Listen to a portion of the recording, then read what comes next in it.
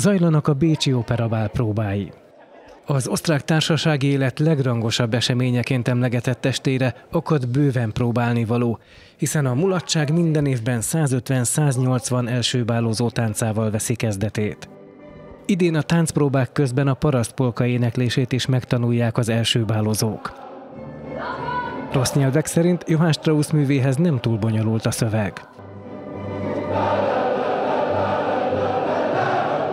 Das klingt einfach fulminant. A Bécsi Operabál szervezője Maria Grossbauer mondja, hogy idén 144 pár fog tánc közben énekelni.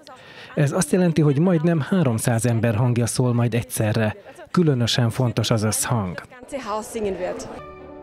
Először vesz részt az első bálozók nyitó táncában egy nemű pár. A két leszbikus fiatal Németországból érkezett. Sophie Grau, a leszbikus pár egyik tagja, azon csodálkozik, hogy idén táncol először egy nemű pár az első bálozók között.